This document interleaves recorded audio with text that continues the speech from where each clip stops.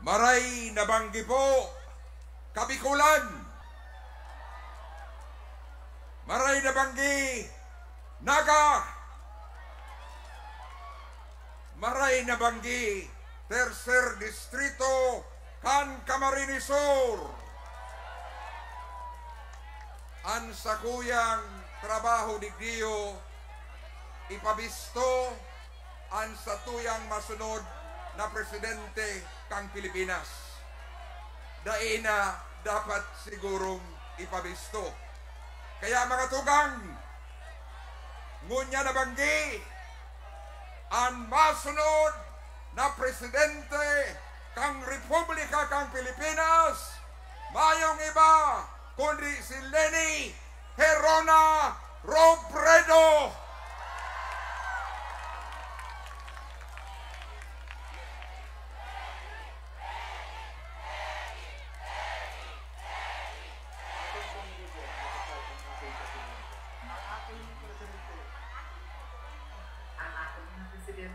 LDMIA Presidente. Ang ganang presidente. Si Lenny. Si Lenny. Si Lenny. Si Lenny. Si Lenny. Si Lenny. Si Lenny. Selene. Si Lenny. That, si Bicolandia! Panahon na para ating madinig ang mensahe ng tanglaw ng tahanan ng buong Pilipinas.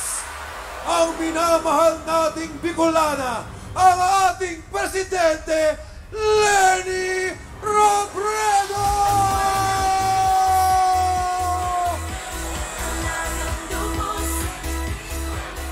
Mabalos. Maray na banggi sa Indogabos. Maray na banggi Naga. Maray na banggi Camarines Sur. Maray na banggi Bicolandia. Ano daw kung makaantos pa ang boses ko? Pirang oras na kamo nakatindog. Pira? Grabe naman. 10 hours?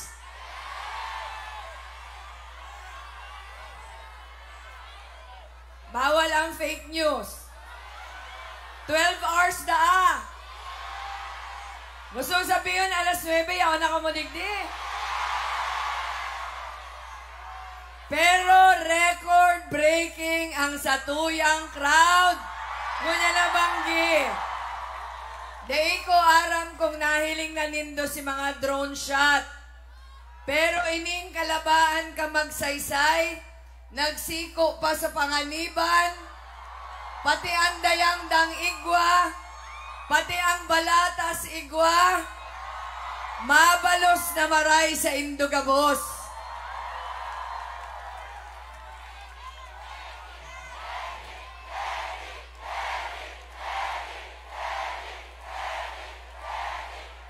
Aram nindo, medyo iibahon ko ang sa kuyang speech nga niya na banggi. Dahil yaon ako kung saan ako namundag, kung saan ako nagdakula, kung saan ako nagurang, digdiman, ano? Bicol, Bicol dito. Pag nandito ako, mahirap magtagalog. Ayan. Iibahon ko ang sa kong mensahe dahil iniyo sarong mensahe ning pasasalamat. Bako lang pasasalamat na yaon kamungo niya nabanggi. Pero pasasalamat sa halawig na panahon na pagsuporta nindo gabos sa samuyang mag-agong. Kadakol sa Indo, bisto ako ning personal. Kadakol sa Indo, nahiling ako kang ako sa ditpa. Kadakol sa Indo, nakaibanan ko kang ako nagdadakula. Si sakuyang mga kaklase, si samuyang mga maestra, si samong mga pagtaraid, si sakuyang mga kakawat. Nahiling nindo kung papaano ako nagdakula. Simple sa naman, parareho sa naman kita. Kang naagom ko na si Jessie. Duman mas nagulpian sa kuyang kabisto dahil sa sa iyang trabaho. Kadaklan sa Indodigdiyo nahihiling ko, nagkabiristo ko kang si Jessie Mayor kang naga. Pero kung nagigirom dumanindo, dawa kang mayor na si Agum Kanaga, yaon sa naman ako sa likod niya. Day manindo ako gayong nahihiling, day man ako gayong nag, nadadangog, nagtatabang sana ako sa gilid-gilid. Habang mayor si Jess, nag-aasikaso ako kan si Tuluming Aki. Dawa si Aika, si Trisha, si Jillian, kang sinda nagdadarakula, nahiling nindo sinda. Ordinaryo sa naman kaming pamilya. Ang kakaiba lang sa pamilya mi, dahil politiko si Sakuyang Agum. Pero nahiling nindo, nadawa politiko si Jessie, da inaapektuhan ang pagpalakula mi sa samuyang mga aki. Ordinaryo sa naman kami. Habang politiko siya, nagtatrabaho ako, nag-aadal, nag-aasikaso kan mga aki. Ako ang naghahatod sundo kan mga aki sa eskwelahan. Nahihiling nindo ako digdi sa naga, ordinaryo sa naman. Kang ako naging abogado na, ang inot kong trabaho sa PAW, nahiling nindo si pagsirbi ko, pero sa gilid-gilid sana. Kang ako nagbalyo sa saligan, siring man, sa gilid-gilid sana. Nagtatabang sa mga kinapobrehan sa bilog na Bicolandia. Pero nagbago si dalagan kan sa mong buhay, kang nangyari si aksidente kan sa kong agum. Kang nawara sa tuya si Jessie, iyo to si pagbabago na daita pig-aasahan. Gabus kita, digdiyo sa naga. Kung nagigirumduman nindo, kang nagadan si Jess, madali nang mag-eleksyon kang 2013. Ang dapat na kandidato mi kadto si Congressman Gabi Bordado. Bago nagadan si Jess, iyo na sinapag-urulayan kang grupo. Pero kang ma-file, last day of filing kang eleksyon, biglang nag-giveaway si Congressman Gabi Bordado, ako na si pigtutulod para magkandidato. Kang ako napalaban sa Kongreso, aram nindo kung gaano kasakit si Sakuyang Laban. Ang binabangga ko, poderosong pamilya. Nagirumduman ko si Inot kong laban, walo si LGU Digdi Sanaga, saro sa naman si Sakuyang Kakampi, sa kadakulan ka mga barangay sa 3rd District kang Camarines Sur, mabibilang lang sa muro ang nagkampi sa kuya. Masakit si sa kuyang laban, day nga ni ako nakakaraling sa diri, nakakanamit lang ako magsakat sa entablado pag may naiibanan akong ibang kandidato dahil mayo akong kwarta.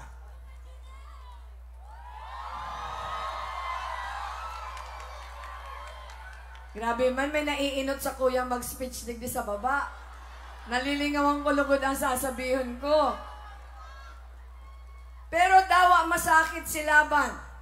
Dai piguhuna na manggagana, pag abot kang eleksyon, landslide si Satuyang Panggana.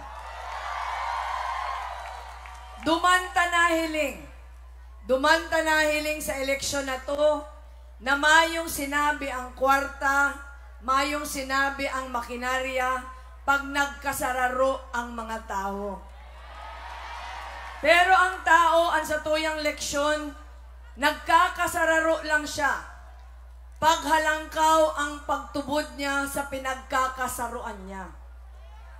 Maswerte ako dahil ang pigsundan ko, si Maray na pangaran kan sa kuyang agong. Si Maray niyang pangaran, iyo ang naging dahilan para magtiwala sa kuya ang tao. Kang ako nag Congresswoman, nahiling nindo ako. Lalo na si mga taga Tercer Distrito Digdi. Nahiling nindo ako kung paano ako nagserbe. Simple sa naman. Magpuon lunes hanggang webes, yaon ako sa kongreso. Pagpuon biyernes hanggang domingo, yaon ako digdi sa distrito. Mala, tapigdududahan pa na shooting lang ang sakuyang pagsakay sa bus papuli. Pero kamo na nakakabisto sa ko aram nindo. Kadakol sa Indo, nakakasakay ko. Si Resemana. Ang pingangalasan ko lang, taano tapag ang congresswoman nagsakay sa bus, da ikatubod-tubod. Arog ba kayan kadipisil maghanap ding politiko? Nadawa magpolitiko na ordinaryo man giraray ang pagbuhay. Kang naritratuhan ako naghahalat ning bus, kadakol ang nagduda, napasali sana. Pero, halos 95% of the time pagpuli ko, bas ako papuli, bas ako pabalik, bako man itong issue. Pero ang nakakamundo, garo iba ng maray ang politika digdiyo sa Pilipinas. Garo baga pag ika-politiko ang inaasahan sa Indo, magarbo na ang sa Indong pagbuhay. Ang huna ko kang ako nagkandidato para congressman pag nanggana ako saro sa na akong termino.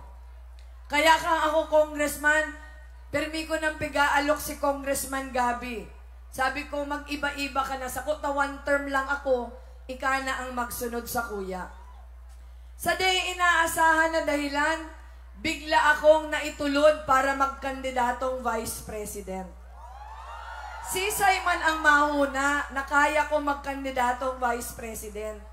Congresswoman nga ni, sinakita na ako, ma-vice president pa. Pero natulod ako dahil iyo man yan ang ugali kang taganaga, laban sana ko may laban. Pero looking back, makusugon pa lang si buot ko. Dahil kang ako nagdesisyon mag-file para Vice President, pang-anom ako sa anom na kandidato sa survey. Nagpoon kitang 1%, mayong kapag-apag-asa, kampoon. Pero siring kang gabos na tinaos akong assignment sa katrabaho, mayo sa kong sadit na trabaho mayong dakula. Kang nagkakampanya na mayo sa ko nakakabisto pero sige sana. Nagirumduman ko ka nagpupuon pa sana ako. Maabot ako sa grupo ni mga tao. Hihilingon ako, mahiringhingan ang hapot. Sisay nga ni yan.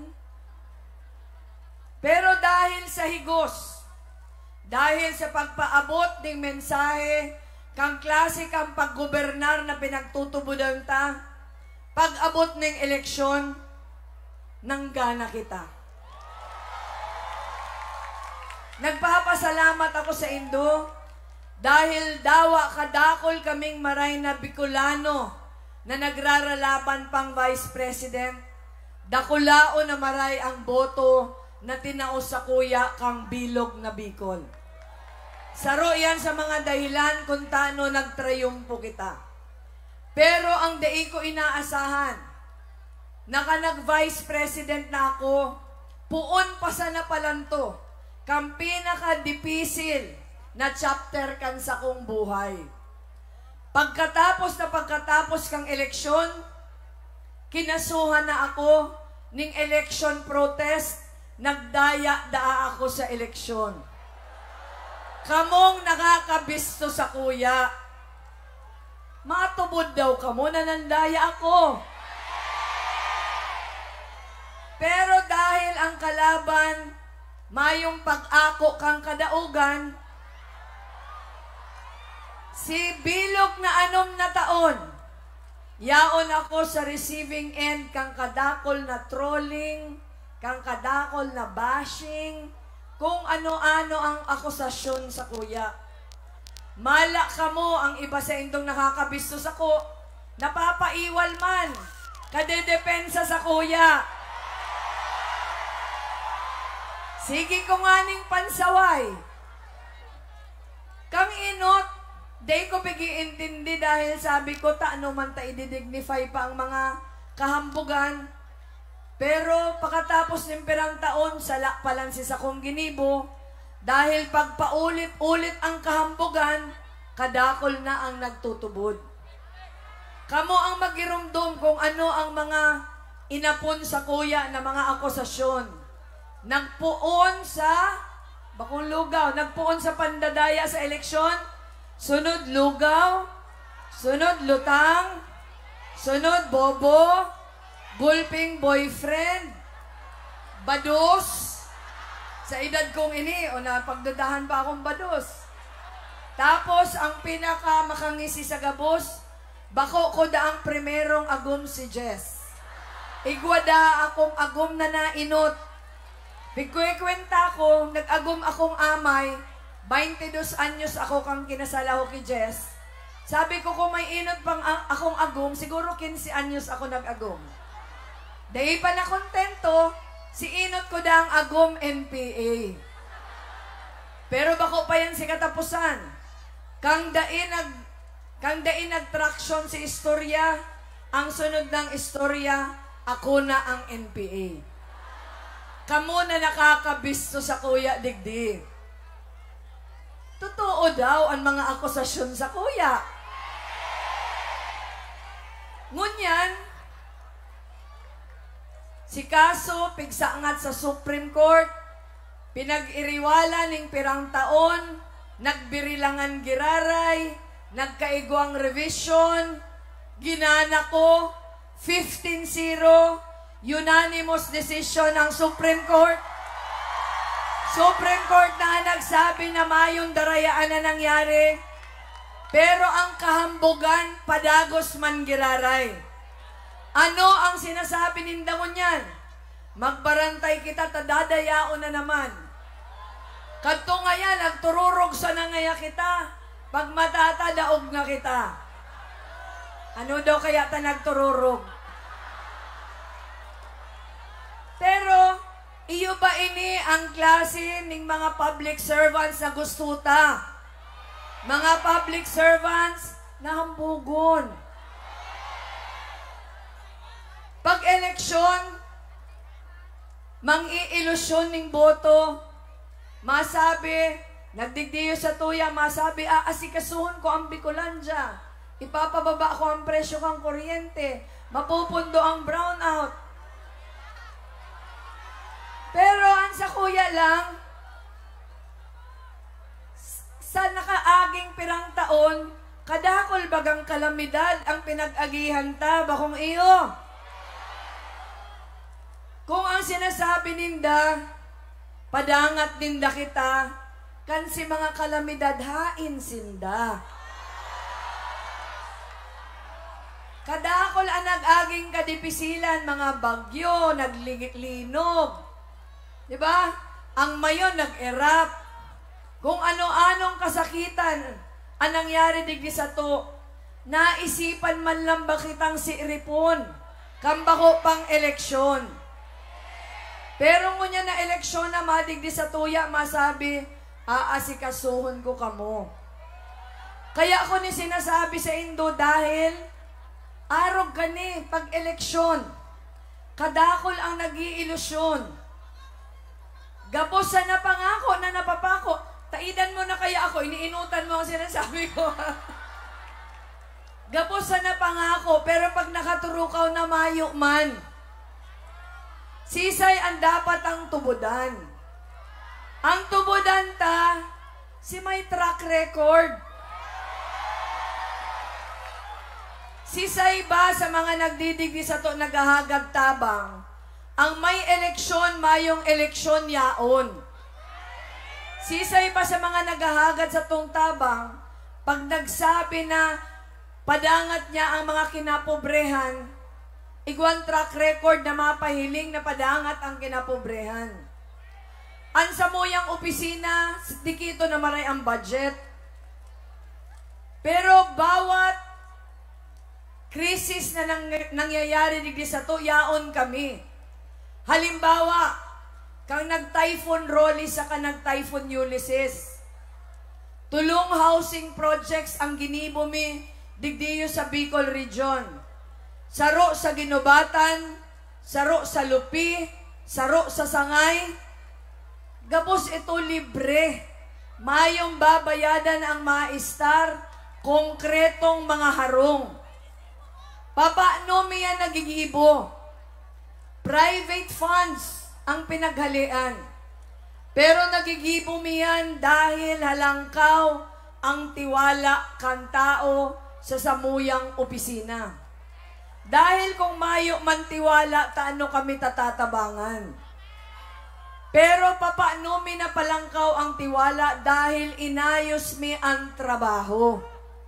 Kang ako nagtukaw na Vice President, ang inot kong ginibo, nag-ISO certification kami sa Office of the Vice President para according to international standards ang pagpadalagan kang opisina. Panduwa, aram na nindo ini, taon-taon nakukuami ang pinakahalangkaw na COA audit rating. Bako na kami ang nagsasabing malinig ang samuyang opisina, pero COA na.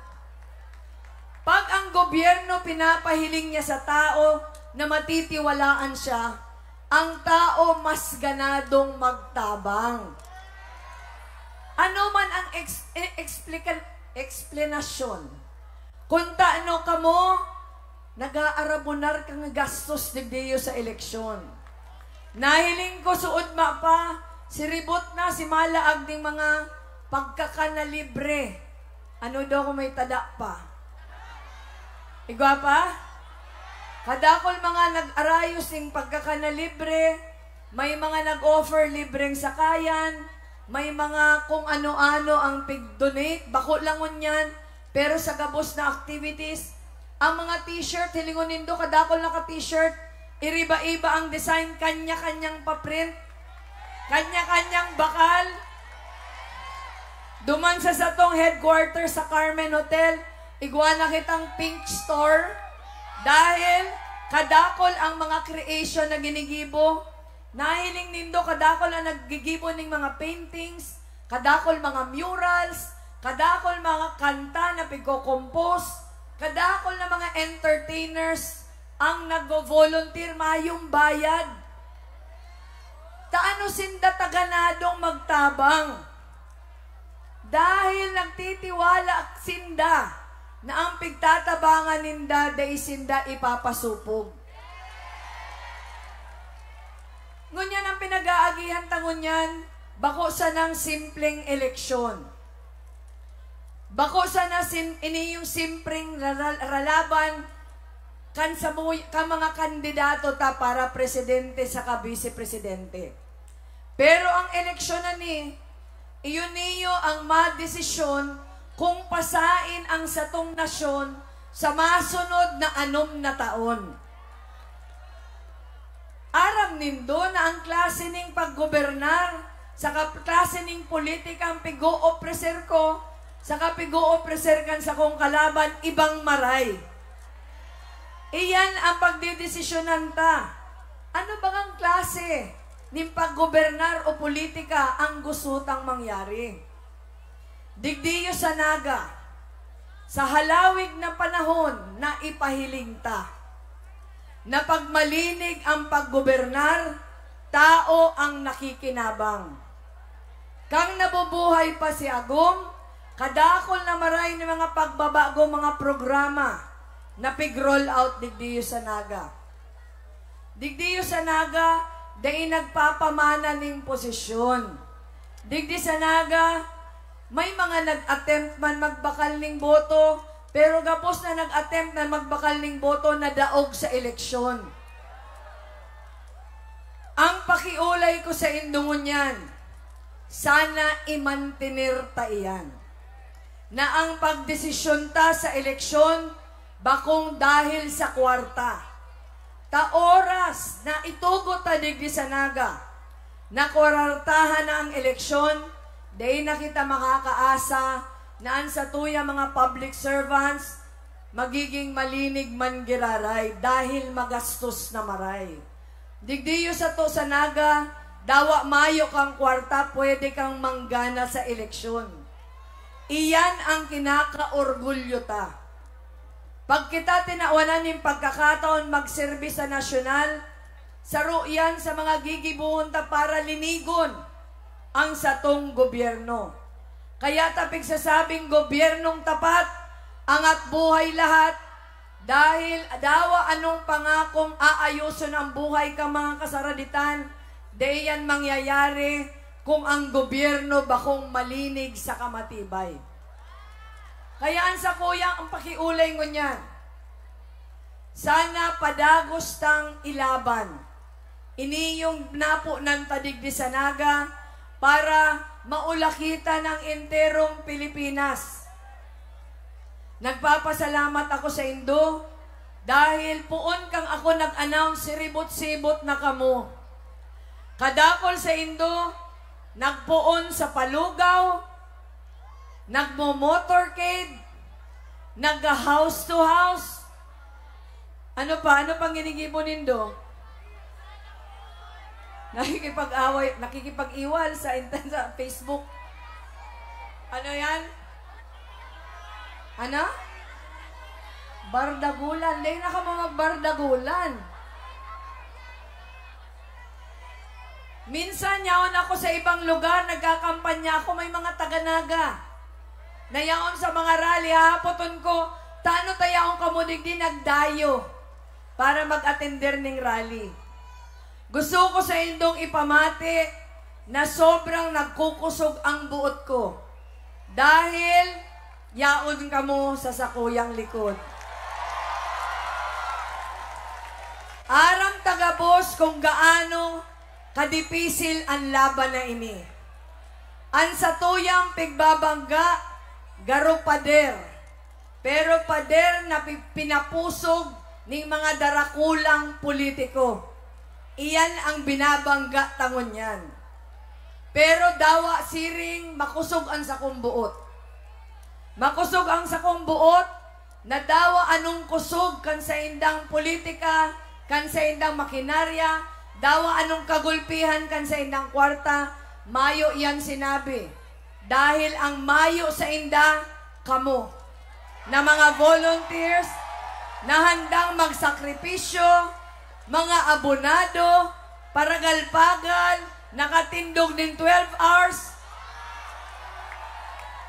Pero yaon manggiraray. Nahiling manggaron nindo sa Facebook ang higos ko. Ano? Talagang mahigos ako. Subanggi, yaon ako sa Prosperidad Agusan del Sur. Dahil yaon duman si Rally. Nagmata akong amay, nagdiretso ako sa Sorsogon, pagkahaling Sorsogon, nagpalegazpi, yaon na ako digdi. Sa aga, yaon ako sa Tarlac, yaon ako sa Pampanga, pagbanggi meeting de avance. Dawa mayo na akong boses, sige lang. Ang hapot kang iba, napapagal ka ba? Napapagal man. Pero pag nahihiling ko na kamo, sa Indo ako nagkukuaning enerhiya. Kamo ang nagtatao sa muya ning kusog. Gusto ko magpasalamat sa satuyang mga local leaders na iyuman ang nagpapakusog kan sa tuyang buot. Yaon digdiyo si ang, ang ama kan sa tuyang syudad, si Mayor Nelson Legacion, Vice Mayor Nene De Asis, sa kaambilog na Timnaga, Yaon, si 3rd District Representative Gabi Bordado, Kaibanan Taman, 4th District Representative Arnie Fuentebella, Kaibanan ta ang satuyang gubernatorial candidate Nonoy Andaya, ang satuyang vice gubernatorial candidate JJ Pilapil sa kong ihado sa kasal, Yaon man digdi sa Yaon man digdi sa taas, ang sakuyang mayor, Mayor kang magaraw, yip yip senyar. Yaon man sir, mga representatives, kang Agri Party List, si Wilbert saka si Kong Delfli. Pag nahihiling ko kamo sa Facebook, sobra ang higos nindo. Kaya nagpapasalamat ako. Sisay Digdiyo ang mga taga-Naga. Sisay ang mga taga 3rd District na Luwas Canaga. Sisay ang mga taga 1st District. Mga taga 2nd District. Mga taga 4th District. Mga taga 5th District. Igwadig di yung bako mga taga Camarines Sur. Taga sain ka mo? Ha? Ano? Sorsogon. Ha? Ah, Camarines Norte. May mga taga Camarines Norte, may taga Sorsogon, taga Said. O Camarines Norte man, daet da. Taga Manila. Bakit pumunta dito? Bukas ang rally natin sa Manila. Ayan, Romblomanon for Lenny, mga taga Romblon. Proud anak ng magsasaka for Lenny Kiko. Andangog ko yaon digdiyo si mga Omasenso farmers na partner kan sa mong opisina yaon da sinda dyan sa may balatas. Yaon man digdiyo si sa kuya mga schoolmates sa Universidad de Santa Isabel. Yaon man si mga taga University of Nueva Cáceres. Yaon man si mga taga Naga College Foundation. Ano pang mga ibang eskwelahan ng yaon digdi? Ano yan? Ateneo de Naga. Ano pa? UNC sinabi ko na. Ano?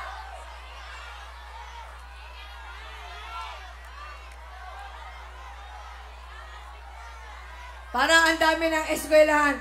Lahat ng mga eskwelahan na nandito, ano to, Partido State University? Partido State University. Gusto ko din batiin, kasama po natin ngayong gabi ang ating minamahal na Archbishop, Archbishop Rolando Tirona na nandyan sa tabi, at ang ating mga kaparian. Maraming salamat din sa kanilang suporta. Napakalaking tulong po para sa amin. SBAP Choir for Lenny Kiko, maraming salamat. College students for Lenny Kiko, Ocampo. Ah, yung may mga star-star daw, Ocampo. Kumusta po sa mga taga Ocampo? Day ko aram kung nadadalan pa kita ka mga nasa panganiban, sana iyo pa. Ang aram ko po, igwang sampulong LED. Screens, day ko aram kung gabos na sulok na may tao na ganan. Pero sana nadadalan mo pa kami. Ano yan? Meteorologist for Lenny Kiko. Mga angkas na nagbibigay pang gas for Lenny. Mabalos na maray. Geology majors for Lenny Kiko. Sa inyo ang boto ko, Ma'am Lenny. By the way, kumain na po ba si Donnie? Accountancy students for Lenny.